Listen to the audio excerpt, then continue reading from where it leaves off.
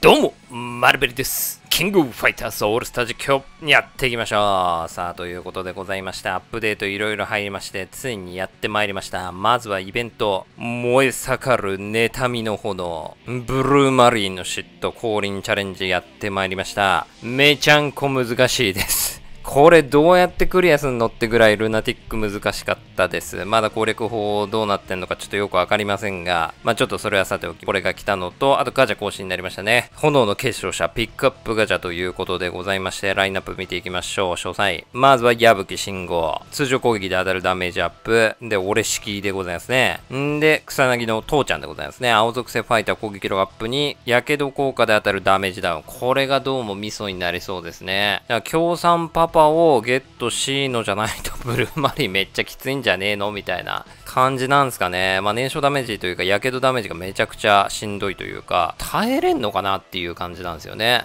で、今日さんの技術型の赤属性のやつ、97の今日来ましたね。赤属性ファイターの攻撃力アップに超必殺技のクールタイム減少ということで、まあこれもう周り用に草薙のパパ、京さんパパを入れていくしかないのかなっていう感じでございますね。ただ取ってね、レベル60にしたとて、即々使えるのかっていうところはちょっとわかんないんですけど、あとはガチャチケですね。もろもろのイベント終わりまして、星5ファイター確定ガチャチケとかね、前回のあのランキングイベに関してはね、ちょっと値落ちが重なったりとかで、まあとりあえずやれるところだけけという感じでございましたんで、まずはガチャチケやっていきたいと思います。星4以上ファイターガチャチケも行きましょう。んたい、いったら。で、ラインナップはね、前回までのガチャの内容が入ってくるということで、行きましょう。まずは星4。たい。うん。まあ、スキップしていきましょう。多分星4ですね。星5は来ないでしょう。うん、うん。ありがとうございます。ソウルゲットでございます。さあ、星5ファイター確定ガチャチケ。今回は、まあ、どっちにしろシェルミーが欲しいんですけどね。やっていきましょう。第シェルミー欲しいなシェルミーがとりあえず欲しい。あとは、まあ、なんか今回のイベント、青属性系？うーん、でもね、草薙のパパじゃないと意味なさそうなんですけど、まあ行きましょう。第うん、まあ何が出るかなで、青なんですけど羽からブッシャーの確定形ですから、黄色から赤か黄色から黄色の発展形でいってくれるでしょう。黄色黄色の発展形ですね。さあ何が来る？かぶるなよ。パキン、グッシャーン、ドッカーン。あーっと、青アテナちゃん、初ですけど、どうなんすかね。今回のイベで使えるんかな？ったりとかっていう感じになってくれてないよね。30コンボ以上のリーダースキルに、うーん、まあまあまあまあ、ありがとうございます。まずは、青アテナちゃんでございました。さあ、2回目、行きましょう。シェルミー、タイ、シェルミー、テルミー。テルミー意味わかんねえ。行きましょう。スキップじゃないよ。タイ。うん、黄色スタート。これは羽からのブッシャン行く？ブッシャンはなしの赤8点ですか。さあ、黄色からの赤ならずか。今回もパッキン発展ですね。パッカーンならぬパッキン発展で。パッキンからの何来る？え？ー、あこっちか。ジョーかと思った。ヤシロちゃんだ。ヤシロちゃんはどうなんでしょう？なんか青属性いっぱい来てくれますが、うん、赤属性からのダメージを軽減できる。うーん、まあまあまあっていうとこでしょうか。いやー、まあ、なんだかななんだかななんだかなですね。まあ一応、あの、ラインナップ最初に見ときゃよかったんですけどね。そういや、レオナまでは入ってて、ブルーマリーとかも入って、バイス、マチェアは入ってるんだけど、もちろんシェルミー入ってんだけど、あ、ここら辺は入ってないんだ。ラインナップのやつ全部は入ってないんですね。今まであったやつ全部っていうわけではなしこちゃんという感じみたいです。まあ、ラスト行きましょう。んー、シェルミー頼む。とりあえずこの確定ガチャではシェルミーが欲しかった。行きましょう。オラシャステイさあ、最後にシェルミー引いて、ブッシャン?おー、ブッシャン おー、ブッシャンからの、これはもうシェルミーってほしいですよ。頼むぜ。シェルミーテルミーシェルミーシェルミーダンスキ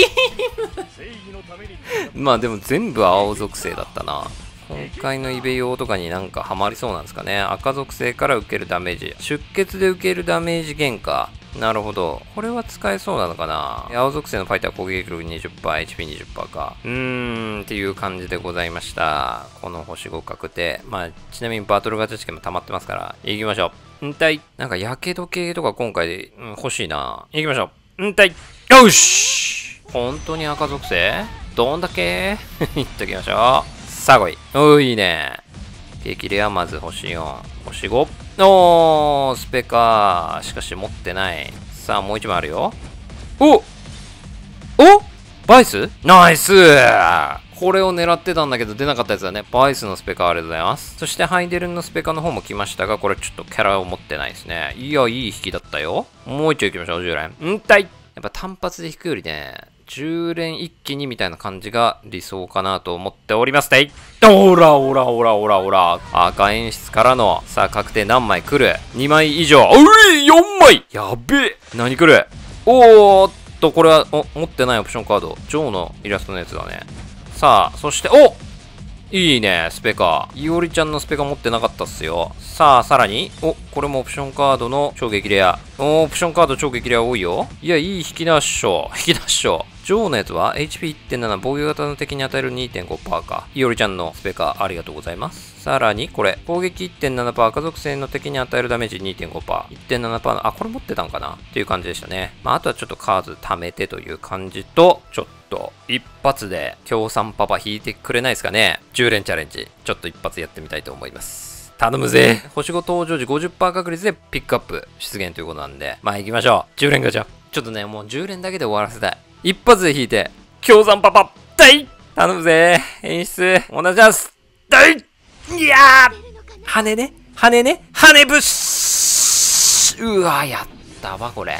いや、もう10連だけは引くか、じゃあ。この演出でやめるわ、ちょっとね。いやー、マジっすか。もう10連だけよ。ここで終わりよ。でい同じやつでいうわー羽ね羽羽よしよしよしよし。ブッシャンはならず。オッケー。黄色から赤いって、赤いって、赤。まだ、まだ、まだパッキンはある。パッキン。渋いな。いやー、浅い数で終わらせたかったんだけどな。しゃあねえな。てい。もう30連で、もう本当は10連で終わりたかったけど、てい。青やめて、羽はブッシャン。頼むよ、黄色から。赤いっちゃって。赤いっちゃって。赤いっちゃって。えー、いやー、きつそう。うーわ、マジで？いやー、無課金きついって。もう10連のみよとか言って40連引いとるで。んだい！やばくね。ブッシャンはなんないよね。赤よし！よし！ここで引け！今日さんパパ！今日パパ！今日パパ！頼む！次だ！んたい！うーあー、そっちかい。赤協賛97。いやー、もうここまで来たら行くか。行きますか。いやー、この壁を乗り越えて、壁を乗り越えて、今日パパっていひでえな、マジで。まあ、赤まで行ってくれ。赤まで行ってくれ。もう一丁いやーパッキンいやー、全部使う？もう育成に全く使えなくなっちゃうけど、全放出だもうどうせ今日パパ引けなくて爆死する未来は分かってるんですよ。んーていほらな。一回も黄色来ねえじゃん。ああ、ああ、ああ、羽も来ねえ、これ。こっからあんのかね、パッキンパターンって。ああ、爆死。あー、爆死。いやー、マジでどうすんの？じゃあ今回のこのイベント。はい、ということでちょっとですね、キムカッファン育ててみました。こちらですね。ちょっとプラスカプセルも振ってギリギリまで高めてみましたが、まあ、コアの効果が非常に今回と相性がいいのかな。出血で受けるダメージが15%ダウンっていうので、今回の降臨ダンジョンがまあ、やけどだっていう表記はあったんですけどね、出血も関係あるのかどうなのか、まあ、あとクリティカル発動時に与えたダメージの1.5%の HP 回復に、あと赤属性の敵から受けるダメージ4%ダウンっていうところもまあ相性はいいのかなというところで、カッファンちゃん。で、クリ率上げに、やけどで受けるダメージ1.9%ダウン。ここら辺つけて、カファンはスペカがちょうどあったので、ここはセットという感じでございますが、こんな感じでちょっとやってみたいと思いますが、一応お知らせの方にですね、こちらですね、燃え盛る妬みの炎ということで、詳細見てみると、ステージ特性、これですね、ステージプレイ中は3秒ごとに火傷ダメージを受けますと。HP 回復ストライカー、火傷ダメージ耐性コア、火傷ダメージ耐性リーダースキルを活用しようということですね。で、なんか道中は一応クリティカルが発生すると、そもそも HP を回復する仕様になってるみたいですけど、ボス戦は HP 回復しないっぽいんですよね。まあちょっとこの能力じゃきついと思うんですけどね、どっちにしろルナティック僕はマルチじゃないと厳しいと思うので、一回ちょっと挑戦してみたいと思います。まあちょっとね、戦闘力8000ぐらいなんで、全然、共有値には足りてないと思うんですが、どうでしょう、どこまでいけるか？ん、もう燃焼ダメージ的なのが入ってるかな？いや結構削れるねとりあえずいや全然ダメだねどんだけ減ってってんの？減りすぎくない？軽減あってもこれ？光が全然出てなくて回復もできてないって感じかな。赤。よっしゃーエンビーちゃん。えー、めちゃくちゃ強いな。もういきなりスペースキー使ってきますけど。あでも回復は発生してくれてるけども。けどもだね。全然無理じゃんこれ。いやー無理すぐる。てかこれ普通にどうやって勝つの？